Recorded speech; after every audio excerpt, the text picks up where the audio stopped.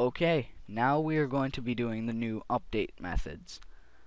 I have two main update methods that I use when I'm programming games, but it depends what kind of game I am using.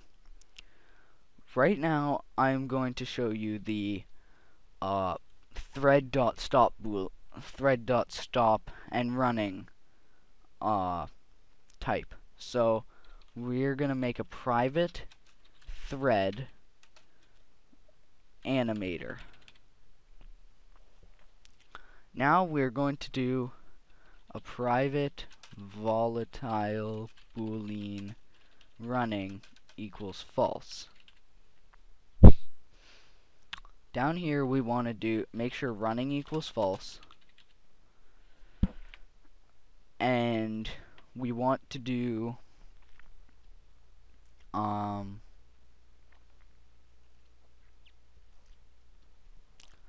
what do we want to do? I guess we'll do the Hive Avoid start game first. Start game if animator equals null or not running. For booleans, you can do this not symbol before it, and that means it equals false. So if it is false, animator equals new thread this animator dot start. Just so you know, I will not be using this method in the next tutorials, so you can just skip on to the next method if you would like, but it is good to learn this, because I may use it in one of my tutorials. So now that we have that, we need to actually call start game somehow. So do public void add notify.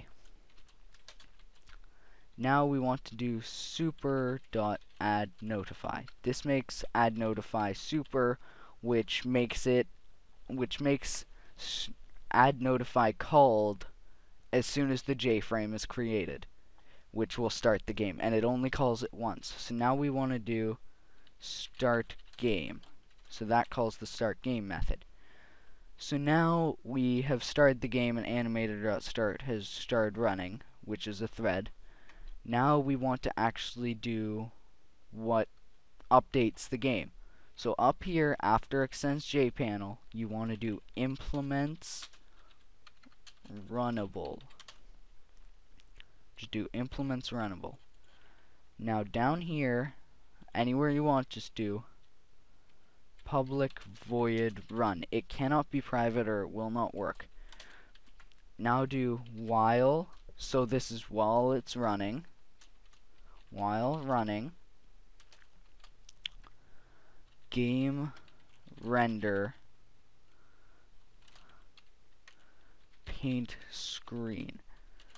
So what this does is it calls game render and paint screen as fast as it can, well, at a safe speed that your computer can. What I find the only problem with this is, is it runs as fast as your browser can run it unless you're using a jar file which it will run as fast as your computer can run it at a safe speed. So your character will pretty much move differently depending on computers and if your computer has a lag spike it will stop moving for a second and create lag. That is why I don't like this method. But anyways, you do try thread.sleep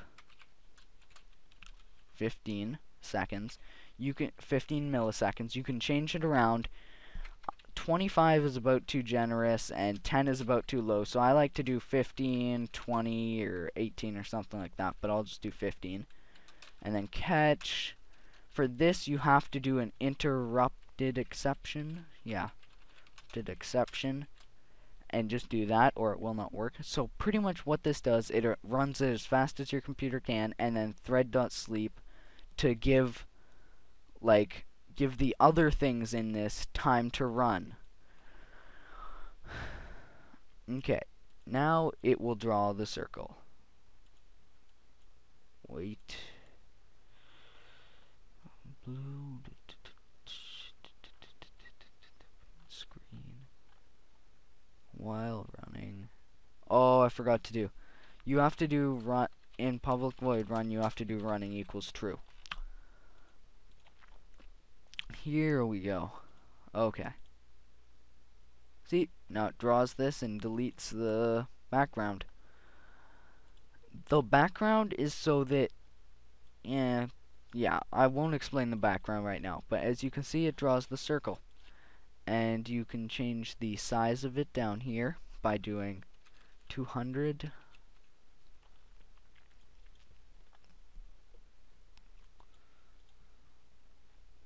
See, like so. And then I'll show you what drawing it does.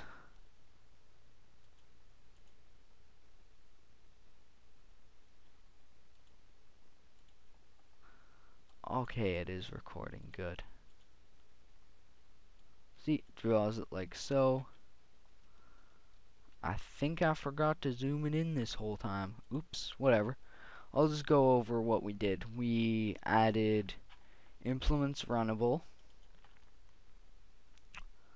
Running equals true while running, blah blah blah blah blah.